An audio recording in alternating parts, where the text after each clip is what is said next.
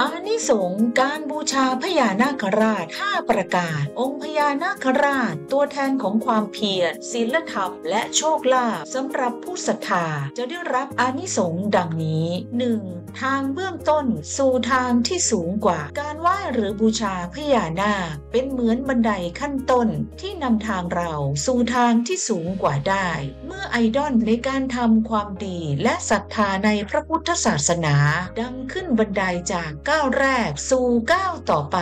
หากจะหมายความเอาการบูชาพญานาคนี้ว่าดี ก็มีการบูชาที่ดีกว่า และดีที่สุดอยู่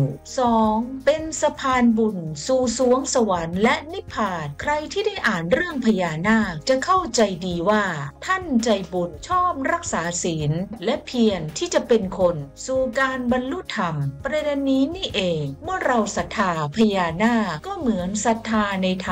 ศรัทธาในคำสอนของพระพุทธองค์อย่างไม่มีข้อสงสัย หรือใครที่ยังสงสัยอยู่ก็ต้องอายพญานาคหรือใครที่เชื่อเรื่องพญานาคแต่ไม่เชื่อพระธรรมคำสอน อันนี้ก็ไปกันใหญ่ เราจึงอาศัยการไหว้หรือศรัทธาในพญานาคไปสู่ทางบุญทางสวรรค์ และนิพพานในที่สุดดังนั้นให้คิดกันสิว่า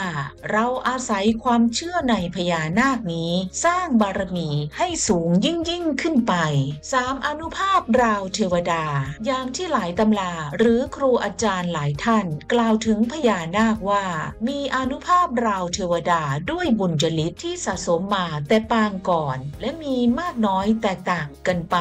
ดังนั้นการไหว้หรือบูชาก็ทรงอนุภาพราวการไหว้เทวดาประจำวันเกิด หรือบูชาพระอินทร์พระพรหม 4. บันดาลโชคลาภโภคทรัพย์ดังงนั้นการขอโชคลาภพญานาคจะบันดาลได้ดีกว่านักบวชหรือพระเพราะพระสมถะแต่พญานาคแวดล้อมด้วยสมบัติทั้งที่เกิดมาพร้อมตนและที่เฝ้ารักษาอยู่ 5. อนุสติแห่งบุญบารมี